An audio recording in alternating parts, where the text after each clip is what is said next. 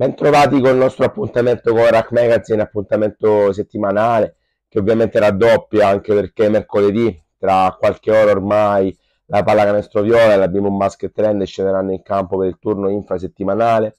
Reggio Calabria, la My Energy, ormai è giusto chiamarla così, col title sponsor in sella, giocherà in casa alle ore 20 e 30 contro il Sala Consirina, formazione in netta crescita, quarta forza del torneo, quindi sarà partitissima al Palacalafiore di Reggio Calabria, alla stessa stregua la Bimbo Basket rende a voglia di emergere dalle zone basse di classifica dopo la sconfitta subita contro Basket School, giocando in casa contro una delle superpotenze del campionato che è diventata impattante in termini di classifica, ovvero la Siaz di Piazza Armerina di Coach Diamante. I titoli di testa sono tutti per i bambini con i baffi, un gruppo che non fa più notizia, il gruppo rivelazione del campionato, il gruppo della My Energy, Viola, Reggio Calabria. Gruppo ben allenato da Federico Cicarini, anche lui allenatore rivelazione, anche perché in pochi avrebbero scommesso alla sua prima esperienza senior in uh, un atteggiamento così performante durante tutto questo andamento fino al momento. I tifosi sono al settimo cielo, uno dei momenti più alti degli ultimi anni del basket a Reggio Calabria, eh, ovviamente è merito della società che ci ha sempre creduto anche nei momenti di down e sono stati tanti negli ultimi anni, ricordando che per esempio la, nella passata stagione Reggio Calabria e Capo d'Orlando sono retrocessi insieme a Ragusa, insieme al Green Palermo che poi ha deciso di ripartire dalla Serie D di Domodossola e sta giocando con profitto in Serie D con tanto orgoglio la formazione del capoluogo si è giocato il big match al Pala Fantozzi di Capodorlando all'Infodrive Barina, si chiama così, questa è la nuova denominazione. L'Orlandina favoritissima, prima in classifica insieme a Reggio Calabria e a Ragusa, cede il passo alla forza di un gruppo letteralmente scatenato. Ne viene fuori una partita combattutissima, strappo nel terzo quarto per Reggio Calabria, protesta l'Orlandina contro i fischi del duo arbitrale e probabilmente la chiave arbitrale sarà una delle argomentazioni da cui fino al termine del campionato è possibile che la FIP vada a riaprire le liste, anche perché il numero degli arbitri è sempre più magro anche rispetto agli altri gironi di Serie B interregionale, quindi è possibilissimo che arrivino altri arbitri da altre categorie più basse ovviamente. È chiaro che eh, tutto quello che è successo a margine è un qualcosa di, di opzionale, che va a distogliere dal titolone di testa. La pallacanestro viola, la My Energy viola, vince ancora con tanto i tifosi al seguito, relegati in una parte alta del Palafantozzi, vince con l'orgoglio, vince con la grinta e con una capacità cestistica realmente incredibile. Basta vedere allenare questi ragazzi giorno dopo giorno per toccarne con mano la crescita. Aguzzoli e Sec straordinari, ma è tutto il gruppo che ha risposto, un gruppo che si è reso protagonista di un terzo quarto da sogno, resistendo alla rimonta ormai classica della formazione paladina dell'ex Domenico Bolignano, in campo c'era un altro un altro ex come Giulio Mascherpa. No, non è bastata la rimonta di Capodorlando che perde e vola a questo punto al secondo posto in classifica, anche perché, come dicevamo nell'anteprima, col paccio del Piazza Armerina, grazie al tandem formato da Regino Marco Laganà e da Paolo Rotondo, che vince battendo la resistenza della Virtus di Ragusa tra le mura amiche. Grossissimo segnale questo per una delle grosse deluse della prima parte del campionato, per un Piazza Armenia che ancora secondo me ha tantissimo da dire a questo torneo. Ci guardiamo il servizio della partita, le interviste a Federico Cicarini e ad Emin Mavric. E nel mezzo c'è anche l'intervista estrapolata dalla TV ufficiale del club Paladino eh, al coach Domenico Bolignano. E chiaramente poi torniamo per parlare ancora di pallacanestro viola. Una vittoria da 4 punti o forse anche di più porta bene il neo title sponsor. La My Energy Reggio Calabria vince anche al Palafantozzi di Capodorlando. Successo brillante, energico, entusiasmante e bellissimo che porta a due punti che saranno utili nella seconda fase. Una vittoria che ribalta il risultato dell'andata e che isola in vetta in solitudine la My Energy, complice la vittoria della Siaz Piazza Armerina in casa contro Ragusa partita intensa, il primo quarto è molto equilibrato, partono bene i locali con un tonico 4-0, Maximovic impatta e sorpassa, Reggio vola anche sul più 5 ma verrà rimontata dall'Orlandina grazie alla tripla di Marini 21-23 al termine del primo periodo, molto bene in avvio Maximovic, Binelli e Cessel, il secondo quarto ha tutt'altra trama, triple prelibate di Tetticnik da un lato e Jasaitis dall'altro, il team siciliano però ha molta più verve e spicca il volo 39 a 31 con i reggini che pagano i troppi errori ai liberi. Gatti firma il più 8 ma grazie a Sec il secondo periodo si chiude sul 42 a 37. Nel terzo quarto arriva la svolta.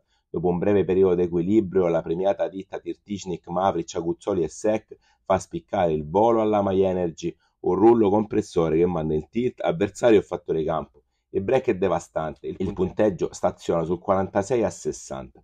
Monologo ospite la, la tripla di Maximovic per il 50 a 68. Agbor Tabi fa 1 su 2 con l'ultimo tentativo della Viola che chiude il quarto sul 51 a 68. Attenti però alla sindrome da quarto quarto dell'Orlandina più volte decisiva in stagione.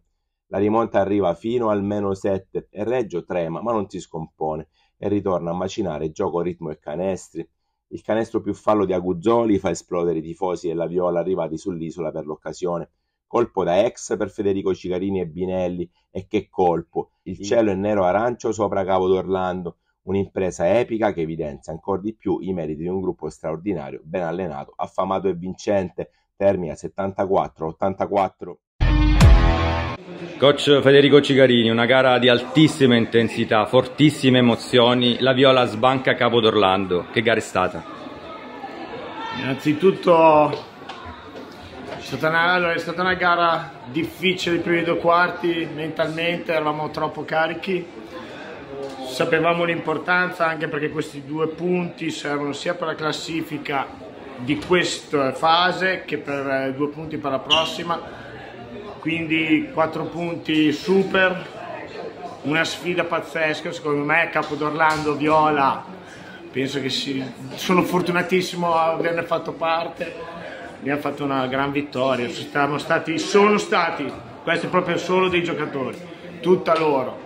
E sono stati bravissimi, sono stati responsabili a recuperare da, so, da, soli nel terzo e nel quarto quarto, hanno tirato fuori uno spirito di squadra, di vittoria, di appartenenza della città, dell'attaccamento della maglia pazzesco. Ragusa ha perso, siamo primi da soli, non, siamo felicissimi godiamocela stasera, da domani ricominciamo subito a preparare perché c'è già allenamento, lunedì, martedì per preparare mercoledì sala consilina e poi tutti a casa che ce n'è un bisogno pazzesco. Coach, in settimana molta intensità da parte del pubblico reggino, c'era grande attesa per questa partita.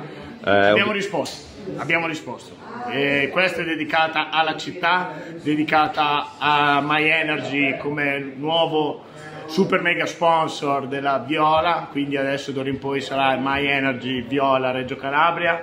Questa vittoria la dedichiamo a tutta la città e il primo posto lo dedichiamo a tutta la città, a tutti i tifosi, vi aspettiamo mercoledì assolutamente, prima delle vacanze. Un'altra partita importante, sono due punti per la fase dopo, vi aspettiamo numerosi e so che non mancherete. Grazie coach. Ciao. Una partita dove nei primi due quarti eh, siamo riusciti ad avere due cambi di guida, eh, eravamo riusciti ad andare in vantaggio negli spogliatoi, sapevamo di un ritorno sicuramente da parte loro che c'è stato, effettivamente il terzo quarto eh, loro erano in gas, sono riusciti a trovare canestri anche aperti è pur vero che però nel, nel terzo quarto hanno tirato 17 di liberi, che sicuramente è tanta roba, molto probabilmente dovrò andare a ricontrollare meglio il regolamento tecnico, forse non, non, lo conosco bene, visto che siamo riusciti a fare tre falli in attacco e canestro con, con difensore dentro lo smile.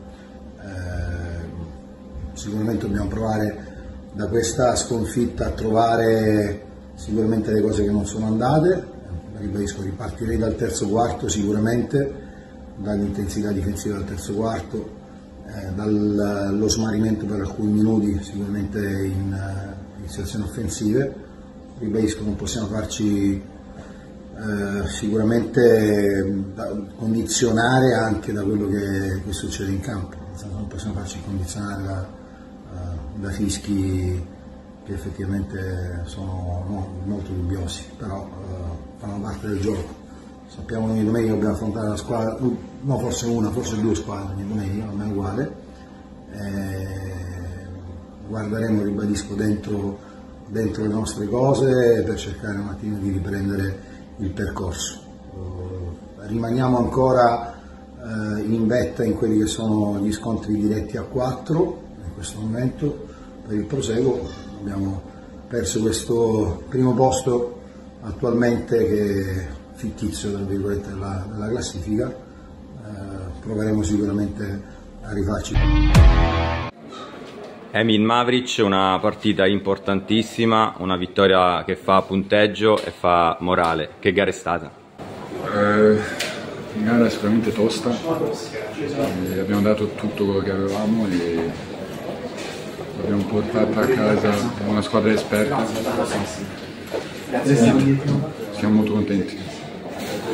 La tua tripla nell'ultimo quarto a 4 minuti e 53 dalla fine con Cabo d'Orlando al, sul meno 7 ha sicuramente ridato ossigeno alla Viola e quella spinta in più.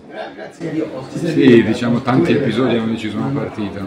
Io mi sono sbloccato lì, ma in difesa sapevamo che dovevamo essere duri con loro perché alla fine in attacco voi non voi segniamo, in difesa era loro sono una squadra che subisce meno punti di tutti, quindi dovevamo farci trovare pronti in difesa più che in attacco. In attacco prima o poi segnavamo, sapevamo, eravamo convinti di questo e alla fine è successo così. Un uh, pensiero su questi tifosi, oggi numerosissimi a Capo d'Orlando e mercoledì si torna a giocare in casa con il vostro pubblico. Eh, mercoledì è ancora lontano però eh, tifosi grandiosi oggi. Oggi io non so, forse io non, in casa non me ne accorgo, ma oggi forse in questo casino, in una partita tanto aspettata, tanto tesa, li ho sentiti tanto. E ci hanno dato quella spinta perché la maggior parte delle persone li conosci anche e sai quanto ci tengono. Personalmente li vedi per strada, li vedi al palazzetto, li vedi ovunque.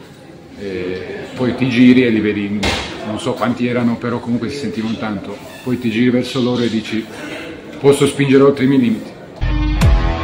Si giocherà ancora dunque in questo 2023, non finisce qui anche perché mercoledì, come accennavamo, c'è una gara importantissima contro una squadra in forma, il Sala Consilina che vince anche la partitissima contro Milazzo tra le mura amiche con l'argentino Fraga e l'ex Cananzaro Gioele Moretti sugli scudi, confermando il brutto momento degli svincolati, Milazzo anche lei tra le deluse di questo torneo.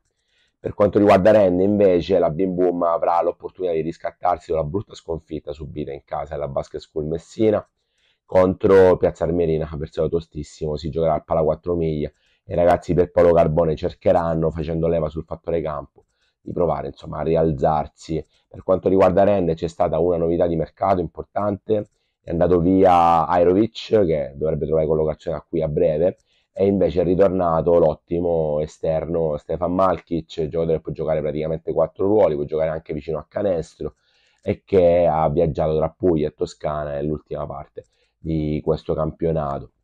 Malkic conosce bene l'ambiente e potrà sicuramente dare una marcia in più alla formazione del coach Carbone. Per quanto riguarda invece le altre novità, il Cus Catania si rafforza per vincere lo scontro salvezza inserendo l'Etneo Giorgio Guadalupi, ex Basket School e Piazza Armerina. Non basta il suo ingaggio anche perché il Castanea di Dani Baldaro tira fuori l'orgoglio e vince lo sconto salvezza con Incitti in assoluta evidenza. Castanea attivissimo anche egli sul mercato, complici le partenze e gli infortuni. Ci trasferiamo alla Serie C unica, brindano tutte e tre le formazioni calabresi Partiamo dal big match, anche perché l'Alfa Catania con Super Budris e Super Lucio Abramo si insedia da sola in solitudine sulla vetta della classifica, posizione omologa alla pallacanestro viola, vincendo il big match contro Olimpia Comiso. Comiso rimane al secondo posto, al terzo invece una Calanzaro straordinaria e scatenata. I ragazzi di Salvatore Procopio chiudono nel migliore dei modi il 2023, vincendo su un campo difficilissimo come quello di Svincolati Milazzo, allenati dal reggino Iliano Sant'Ambrogio. Sorrisi alla domenica per le regine, entrambe vincono i ragazzi della DR di Peppe Cotroneo che si rialzano dopo la sconfitta di Giarre, gara dominata dopo un primo quarto sotto in doppia cifra contro il Cus di Palermo, il capitano Luca Laganà è realmente straordinario, idem Daniele Greco, il recuperato Barrile, un gruppo che ha risposto con tonicità. Molto bene anche gli Stingers che dovevano fare a meno del capitano Marco Costantino e vincono tra le mura amiche del Paracalafiore contro il Giarre.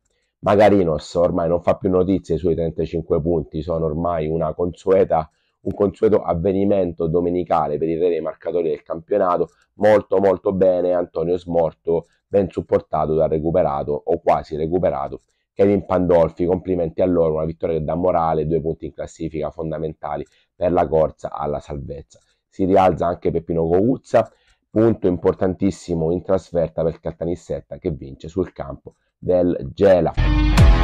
Momento magico per la Reggio Bic, è arrivata una sconfitta preventivabile contro una delle candidate al successo finale, il Santo Stefano, formazione marchigiana che mira al tricolore, però al termine della gara si può festeggiare anche perché dagli altri campi è arrivata la matematica per il terzo posto, che significa playoff qualificazione matematica, con tantissimo anticipo, anche perché non siamo neanche arrivati a Natale, tutto oltre le previsioni ci guardiamo il servizio e l'intervista al coach Antonio Gugliandro.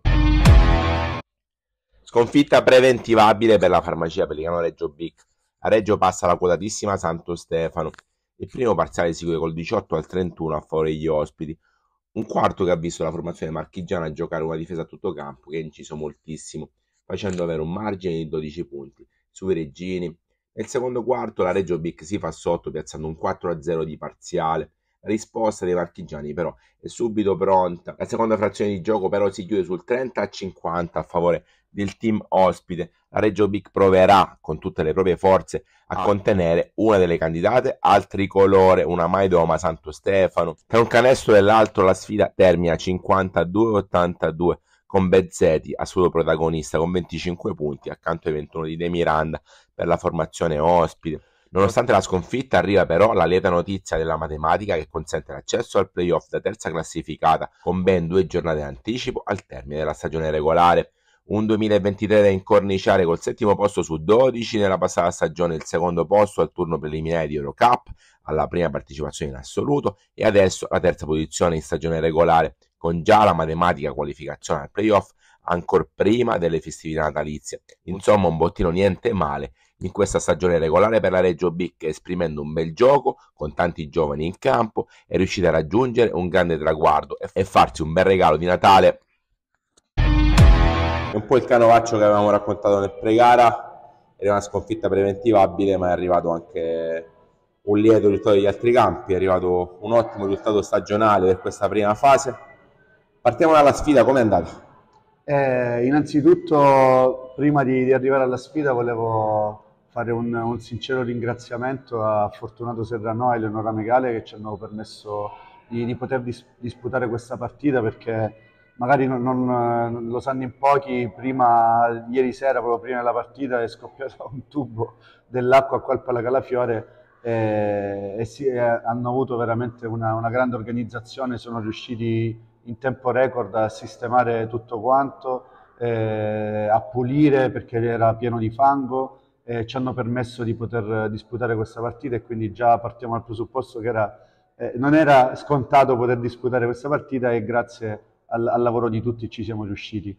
La partita, lo sapevamo, è stata una partita difficile perché comunque Santo Stefano è una squadra importante in Italia, ha appena vinto eh, la Supercoppa italiana, eh, gioca sicuramente per, per lo scudetto, ehm, però abbiamo visto comunque che abbiamo eh, a tratti abbiamo fatto un, un, bel basket, è stata una partita divertente sicuramente da vedere perché entrambe le squadre eh, giocano in maniera dinamica, sia noi che, che loro abbiamo un, eh, un tipo di, di, di, gioco molto, eh, molto aggressivo, molto fisico, allo stesso tempo molto dinamico, fatto di transizioni eh, e difesa ehm, press. Eh, è stata una partita comunque difficile perché loro sicuramente hanno giocatori ancora più fisici dei nostri, sono abituati perché lo fanno da più tempo, hanno giocatori sicuramente di, eh, di livello superiore. Noi siamo una squadra forse ancora un po' troppo giovane e inesperta, però sono queste le partite dal quale si deve imparare e prendere spunto. Piccolo bilancio anche perché è arrivato questo traguardo della qualificazione alla post-season. All'inizio del campionato era il micro obiettivo, il micro sogno, diciamo così Esattamente, era innanzitutto appunto un sogno perché non era assolutamente scontato che potessimo raggiungere questo, questo traguardo e soprattutto, eh, diciamo, tra virgolette così eh, presto, perché ancora prima di, di Natale già eh, abbiamo questa possibilità di poter festeggiare eh, la qualificazione playoff. Eh, sì, è stato, il bilancio diciamo, è sicuramente positivo perché eh, i ragazzi non solo sono, sono felici sono per, per l'obiettivo, ma eh, stiamo giocando bene, abbiamo un bel gioco, ci si stanno divertendo, eh, stiamo dando spazio a tutti. Eh, come si vede anche dai tabellini, siamo una squadra che, che porta quasi ogni partita tutti a referto eh, e questo è l'importante perché non solo eh, riusciamo a raggiungere gli obiettivi, ma anche facendo un bel gioco. Grazie mille. Capitolo di R1, eh, vittoria preventivabile per Pollino che risparmia un po' di energie vincendo contro la Bim Boom e si consolida in vetta. Idem a 119 punti realizzati alla cestistica gioiese che vince sul campo del Calanzaro con un Ciccio Russo a forza 38. Derby Regino alla Vis che vince di un soffio contro una super combattiva Botteghelle, Vis che non giocava da un bel po', complici diversi rinvii e riesce a vincere grazie a un bel canestro di Fabio Freno, molto bene Galimi e Morabito, contro una Botteghelle finalmente ritrovata grazie all'asse Triolo Mazza, Cimino Malavenda. Per quanto riguarda invece l'altro derby, Basket Pellore si fa valere tra le mura amiche, straordinaria la cornice di pubblico del Pala CSI, il Pala Color, con tanto di brigate pellaresi, un manipolo di ragazzini, un gruppo giovanile che con forza indomita ha sostenuto Vianise e compagni nell'arco dei 40 minuti, partita godibile contro il soccorso quasi sempre nelle mani dei ragazzi di Armando Russo che con, continua a far bene, ha, ha, completato un suo tour personale abbastanza importante e vincente, ha vinto al CSI con la Fortivo Pellaro al venerdì al Palmi, è stato il colpo del campionato del CSI, successivamente ha vinto anche in Under 15 col suo Bagnara, ricordando che allena anche la selezione costiera e poi si è superato appunto, vincendo con grinta nel campione di Serie D. Il big match invece lo vince il Soverato, che sfrutta l'assenza di Rodrigo Monier e espugna il campo del Pianopoli. Molto bene Fall, molto bene Tiziano Gallo per una formazione, quella di Fabio Pirillo, che ha ancora tantissimo da dire al campionato. È veramente tutto, noi torneremo ovviamente con gli aggiornamenti post eh, My Energy, Sala Consilina e post ovviamente Bimbo Basket Land e Piazza Armerina, anche perché il campionato diventerà sempre più elaborato, ci sarà dopo il giorno di ritorno una seconda fase molto avvincente in incrocio con l'altro girone, successivamente ancora playoff e playout, insomma ci sarà tanto da discutere e argomentare sul mondo della pallacanestro. Un caro saluto e alla prossima!